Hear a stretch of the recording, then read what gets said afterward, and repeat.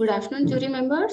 Uh, today I am here to present a case report and topic it's a rare case of bilateral symmetrical temporoparietal extradural hematoma in road traffic accidents.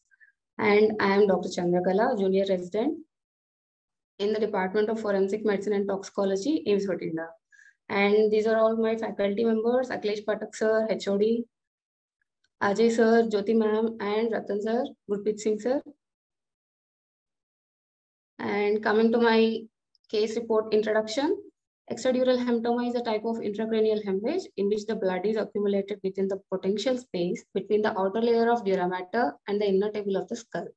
Intracranial epidural hematoma occurs in approximately 2% of patients with head injuries and 5 to 15% of patients with fatal head injuries. Intracranial epidural hematoma is considered to be the most serious complication of head injury, requiring immediate diagnosis and surgical intervention to save the life of the patient. The autopsy findings of extradural hematoma are an uncommon consequence of head injury, and bilateral symmetrical extradural hematoma is extremely rare. The incidence of bilateral symmetrical extradural hematomas account for less than 5% of all entities of extradural hematomas. The cases of acute symmetrical bilateral epidural hematoma are reported clinically, but the autopsy diagnosis of the same is rarely reported. Coming to the case history. A 35-year-old woman brought to the casualty department with history of head injury during road accident. She was unconscious since then and was having bleeding from right ear and continuous episodes of vomiting. On neurological examination, the GCS score was E1, VT, and M1 with pupils dilated, fixed, and not reactive to light. The patient was declared dead after conservative management, and the body was sent for autopsy examination.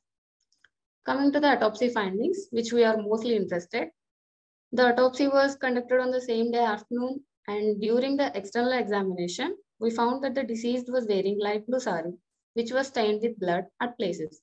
Deceased was averagely built and nourished, and rigor mortis was present over upper half of the body.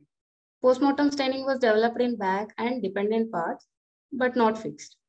Multiple grazed abrasions of size varying from 0.5 to 5 into 4 centimeters to 2 centimeters into 5 centimeters were present on the both sides of upper limbs, which are mostly on right side compared to left side. Dried blood crusts were seen in the right ear canal and diffuse swelling was present over both areas of both parietal areas of the scalp. On opening the scalp, dark red color contusions were found in the scalp tissues over both temporoparietal areas. On further examination, a comminuted fracture of the right temporal and a linear fracture of left temporal bone were seen.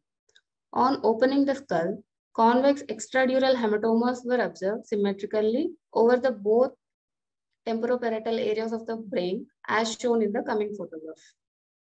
This is the photograph which we took uh, during autopsy and the hematoma which was accumulated, it was more on right side comparative to left side. But it is a rare finding.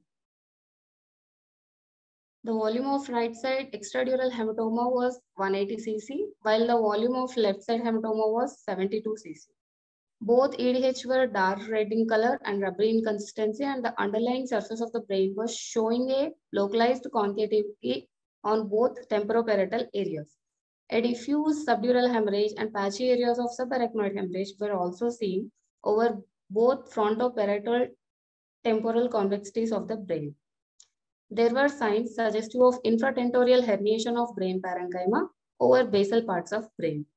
The cause of death in this case given as craniocerebral damage following blunt trauma to the head after autopsy examination. Coming to the discussion part, the dura is a tough grayish membrane which firmly attaches to the inner table of the skull bone and provides a good support to the blood vessels. Even after traumatic injury to vessels in this area, it doesn't allow to accumulate a large amount of blood. Clinically also, deterioration of the patient does not take a rapid course due to lucid interval. In majority of such cases, immediate diagnosis using NCT is made and urgent surgical intervention is done to save the life of the patient. That might be the reason for higher incidences of extradural hematoma in clinical studies and lesser in autopsy studies. EDH is the least common type of intracranial hemorrhage and its presence at both sides of brain in a symmetric manner is extremely rare. In present case, dark red color contusions were found in the scalp tissues over both temporoparietal areas, indicating that the trauma was bilateral in these areas and leads to a bilateral extradural hematoma. In the case presented here, large size of bilateral extradural hematomas, uh, 12 centimeter and 9 centimeter in diameter, might be due to rupture of an underlying branches of middle meningeal arteries in these areas. And coming to the conclusion of this case report, the autopsy findings of EDH is common, but bilateral symmetrical EDH is extremely rare and can be missed clinically, especially when it is present in association with other types of intracranial hemorrhages. In all these cases, an immediate diagnosis and urgent surgical interventions is required to save the life of the patient. These are some of the references which I included in this report. Thank you.